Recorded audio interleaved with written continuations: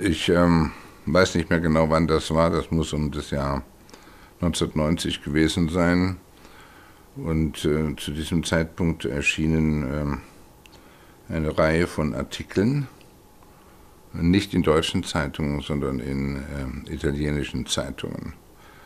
Und äh, nicht irgendwelchen italienischen Zeitungen, sondern äh, es war meiner Erinnerung nach Repubblica, also die zu den angesehenen italienischen Zeitungen zählt.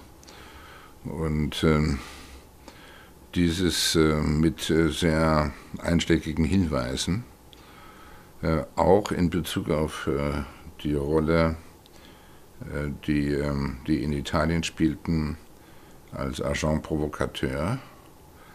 Und das heißt, ähm, dass sie ähm, mit höchster Wahrscheinlichkeit eine Claudio-Truppe Anschläge äh, verübt hat, äh, die man dann den Roten Brigaden äh, gezielt untergeschoben hat. Und die so ähm, gemacht worden waren, dass man den Eindruck haben musste, es seien rote Brigaden gewesen.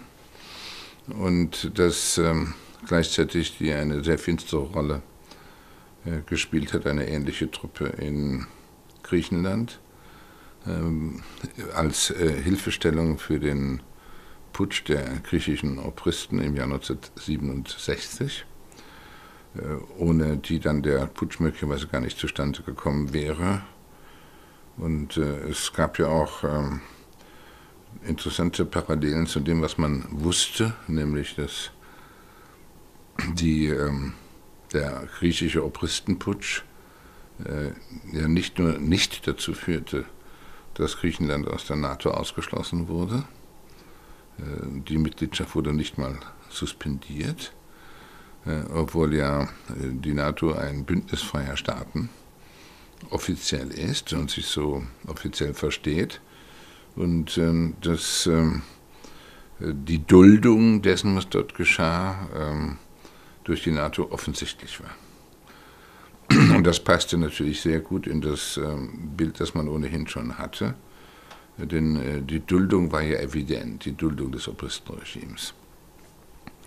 Und dass es auch Ausbildungslager äh, in Deutschland gegeben habe. So, und äh, das hat dann ähm, zu Nachfragen geführt von mir, die ich an die Regierung gerichtet habe. Und ähm, das Ergebnis war, dass es keinerlei Informationen gegeben hat dazu.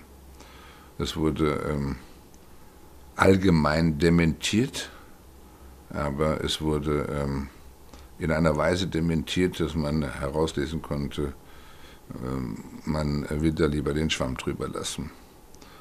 Äh, es passte nicht mehr in die Zeit und äh, es hat auch keine große sonstige Aufmerksamkeit gefunden, weil das war das Wendejahr 1990 und viele dachten, das ist jetzt Schnee von gestern. Und äh, das ist natürlich eine ziemlich unbefriedigende Antwort, äh, weil äh, wenn es um historische Aufarbeitung geht, kann man nicht sagen Schnee von gestern, dann gibt es keine historischen Aufarbeitungen mehr. Und die äh, Eindrücke, die ich dabei hatte, war, dass, waren, dass eine ähm, ähm, nachträgliche Untersuchung, auch das, was bis in die 70er Jahre hinein noch geschehen ist, ähm, äh, quasi auf Allparteienwiderstand gestoßen ist. Denn ähm, es berührte ähm, äh, natürlich alle möglichen Regierungen, die seitdem im Amt waren. Äh, nicht nur die ähm, frühere CDU-FDP-Regierung vor 1966, es berührte ja auch was den zeitlichen Rahmen anbetrifft, die Zeit der Großen Koalition, aber auch noch die Zeit der äh, sozialliberalen Koalition. Es kamen ähm, offizielle Dementis, es kamen pauschale Dementis, als sei das geradezu absurd. Äh, die, äh, allein die Frage schon absurd. Äh, obwohl das, was ähm, mittlerweile veröffentlicht war, vor allem in italienischen Zeitungen, alles andere als absurd war. Denn äh, es ähm, beruhte ja ähm, äh, immerhin auf wiedergegebenen Fakten, äh, die in Italien eine große Diskussion ausgelöst hatten, aber Interessanterweise hat diese Diskussion ähm, außerhalb Italiens nicht stattgefunden. Und dadurch ist er natürlich auch dort stecken geblieben nach einer gewissen Zeit. Es ist natürlich so, dass wenn es um ähm, äh, die ähm, Dekouvrierung die Demaskierung gegenwärtiger Verantwortlicher geht, dann ist das natürlich für eine Zeitung noch interessant. Wenn es um das nachträgliche Aufdecken einer Sache geht, die man für Schnee von gestern hält, dann ist es für eine Zeitung nicht mehr so interessant. Äh, dann äh, kann man sich eigentlich nur noch auf ähm, Historiker verlassen, die der Sache dann über Jahre hinweg nachgehen und auch das Glück haben, vielleicht auch noch einschlägige Dokumente zu finden. Aber dass das alles ähm, eine Geheimtruppe war, die ähm, für den Fall, dass sie ihren Einsatz für nötig hielt, ähm, sämtliche demokratischen Regeln auch äh, missachtet hat und die im Grunde genommen machen konnte, was sie wollte, äh, unbeobachtet, ähm, das ähm, äh, wird wahrscheinlich ähm, offiziell nie zugegeben werden. Es sei denn, ähm, es, finde, es, fände sich mal, es fänden sich einige Leute, äh, die ähm, unmittelbar dabei waren und die sich dann jetzt im höheren Alter mal darüber ausführlicher auslassen. Aber äh, nach meiner Erinnerung ist das noch nicht gefunden worden. Es gibt natürlich einen Totschlagsbegriff, Verschwörungstheorie. Ähm, und ähm, der alles abtun soll, was in dem Zusammenhang an ähm, Vermutungen, äh, konkreten Verdachtsmomenten und so weiter da ist.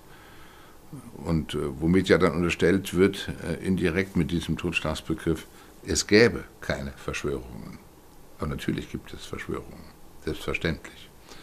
Und ähm, die beste Möglichkeit von Verschwörung abzudenken ist einfach so, ach, Verschwörungstheorie, äh, aus der Luft gegriffen, äh, irgendwie herbeifantasiert oder sonst etwas. Aber die ähm, äh, Vorgänge, die nun wirklich ähm, einigermaßen dokumentiert sind, äh, alles andere als Verschwörungstheorien, es waren Verschwörungen. Die Aufgabe bleibt, äh, dass institutionelle Vorkehrungen getroffen werden müssen, die allesamt mit Transparenz zusammenhängen, äh, damit ähm, sich eine Demokratie äh, vor ihren Unterminierern schützen kann. Der Feind sitzt innen, heute mehr denn je und nicht mehr außen.